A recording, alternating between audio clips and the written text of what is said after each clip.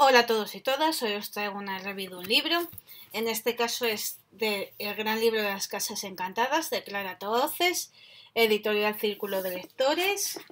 Tiene 290 páginas y bueno, como siempre os voy a leer la sinopsis y os voy a dar mi opinión.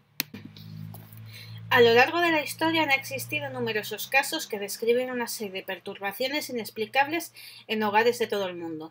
Ruidos misteriosos, desplazamiento de objetos, olores extraños que surgen de la nada, voces que susurran nombres, visiones espectrales, son solo algunas de las muchas experiencias que se han descrito. En este libro, Clara Toaces aborda una serie de casos recogidos directamente a partir de las declaraciones de los propios protagonistas, cuyos testimonios nos ofrecen la oportunidad de experimentar qué sienten aquellos que habitan hogares encantados y profundizar en un inquietante fenómeno para el que la ciencia aún no tiene respuesta. A mí es un libro que me ha encantado, ya que describe muchos casos de casas encantadas o portergues. Además, eh, apunta, no. Además, aporta las experiencias propias de los protagonistas.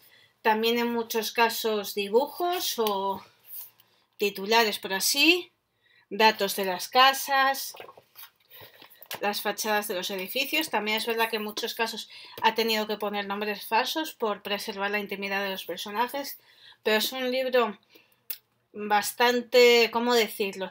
Que escoge varias casas y las relata de una forma objetiva, sin meterse a si son verdad o mentira lo que pasa, con lo cual para mí lo hace de una manera bastante objetiva. Además, Clara Taoces ya tiene una fama a su espalda que la acredita para poder hacer este libro de forma muy buena. Creo que lo ha hecho, lo ha relatado de una forma como os decía, bastante objetiva, sin meterse a por qué sí, por qué no. Y desde luego creo que tendría que hacer una segunda parte.